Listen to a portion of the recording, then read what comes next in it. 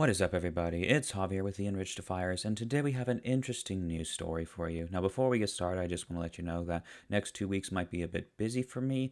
Uh, hopefully, within those two weeks, I'll have another video for y'all, but uh, it might not happen uh, just because I'm, I'm graduating college, I'm moving out, so a lot of times going to be moving everything from here back uh, to where I'm originally from, and then the week after, I may be taking a uh, trip to Mississippi to see family. Uh, but yeah, so just so you know, I'll still try to have a video out. Uh, but if in case one is not out for whatever reason, that's the reason why. But enough of that. Let's go ahead and get to this new story. So, found this story and it really intrigued me. I wanted to give my take on it.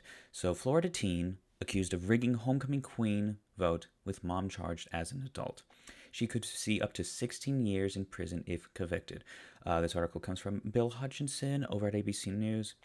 So, a teen is as an adult teen charged as an adult has pleaded not guilty to multiple felony counts stemming from a Florida high school homecoming queen contest that prosecutors allege she and her mother rigged by hacking into a school district computer system.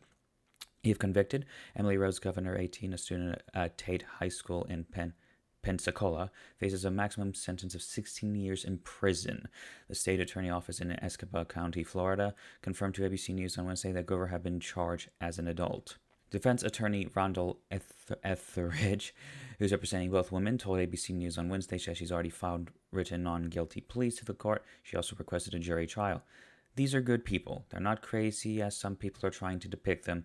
They're basically decent people, said Etheridge, adding that Grover's father and Carroll's husband is one of the best friends that he's representing them pro bono. It seems to be that there is this uh, high school girl, who's Carol, who's up here at the top here, and uh, not Carol, sorry, Emily, uh, her mother's name is Carol. And she apparently rigged the homecoming queen election, which is done through like a computer voting system that she was able to gain access to because her mother is the principal's assistant. So because of that, she's able to get access to certain things, including uh, what is called the focus system, based on what this article says.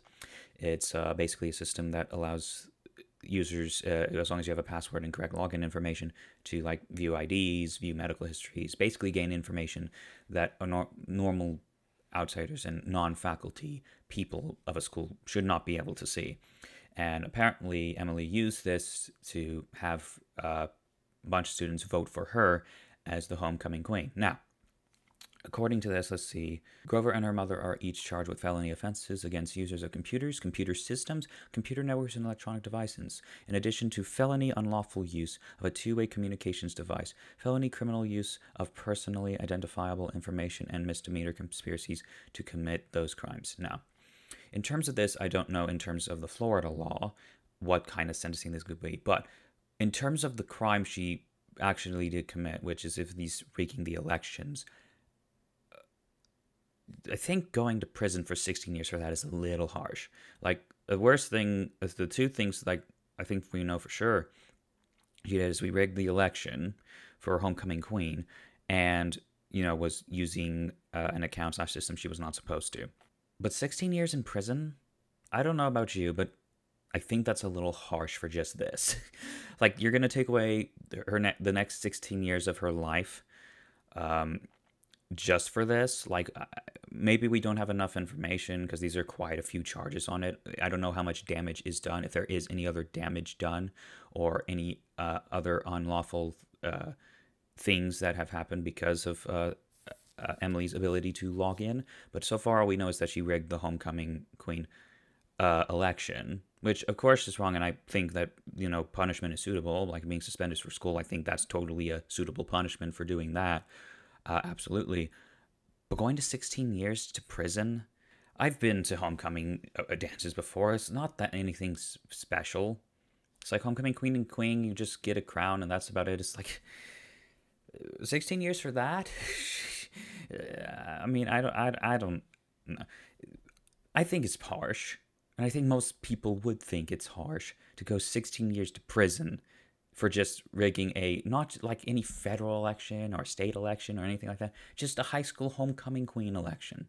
I think being suspended from school, like I said, is a fine punishment, you know, but 16 years in prison, I think that's hard. I've seen videos of what prison can be like. It is not fun. And I don't really think that she should go to a terrible place like prison just for that alone. But again, maybe there are other applications of uh, what she did that could have uh, harmed the system or school that maybe uh, I'm not considering or not.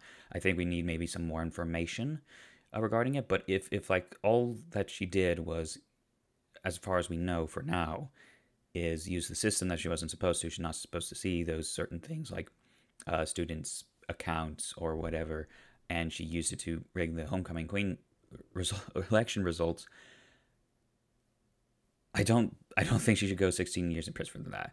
And I think most people don't either. At least I hope they wouldn't. 16 years in prison, you know? Like, we get, I don't know, maybe we'll see more regarding this story, but yeah, that that's just, it's really mind blowing to me that they want to send her 16 years to prison just for this. Yeah, I think that's about it for this story. Uh, got another video planned coming. I'm hopefully going to try to film it slash uh, edit it in the next couple days, but thank you so much for watching this video. If you liked it, leave a like, and if you want more news stories slash media critiques and reviews, go ahead and subscribe, and I'll see y'all in the next video. Take care.